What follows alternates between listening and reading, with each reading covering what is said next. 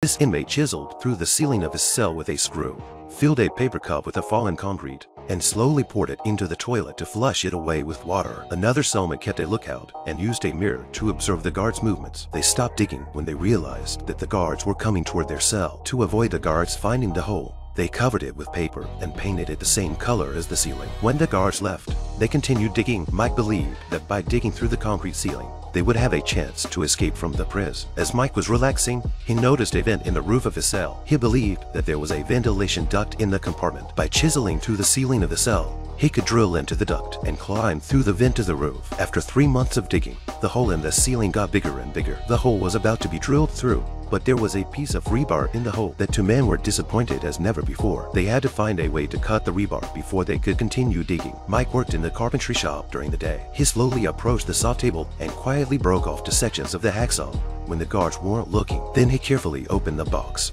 and hid the saw blades in the foil-lined box, avoiding the metal detector as much as possible. At the end of his shift, Mike took out the items for inspection. The guard saw that the box was still unopened and assumed that there was nothing hidden inside. So he just squeezed it a few times and let Mike through. Mike was relieved. Back in his cell, Mike heated the saw blade over a fire used a toothbrush as a handle to attach the blade to the toothbrush, and then started sawing through the rebar in the hole with the blade. It wasn't long before Mike was sweating profusely, and after a couple of hours of sawing, he was able to cut through the rebar. The two of them had renewed confidence. After a couple of days, Mike chiseled a small hole with a screw. They were excited it wouldn't be long before they could cut a big hole. The day the guards randomly checked their cells, Mike rushed to cover the hole. Luckily, their cell wasn't inspected today. They knew that if the guards scrutinized the hole, they would find it. They decided to speed up the process and escape before the guards' next inspection. During the day, when Mike was at work, he saw an old hammer used to block the door. Mike decided that the hammer was not on the tool list. He decided to take a chance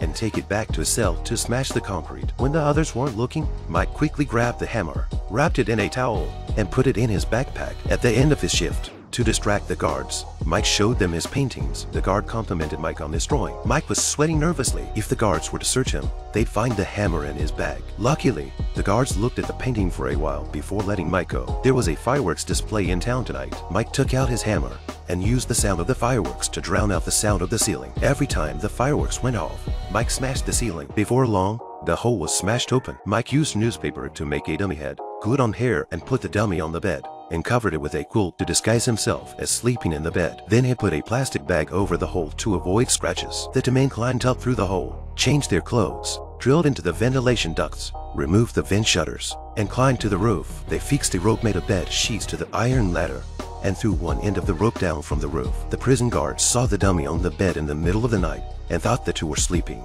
and did not notice anything unusual. The two men climbed down the rope and went on their way. The next morning, the guards called them to get up, but there was no response. The guards lifted the covers and realized it was a dummy. Seeing the hole in the ceiling, they realized that the two had escaped and immediately sounded the alarm. But the two had already succeeded in escaping.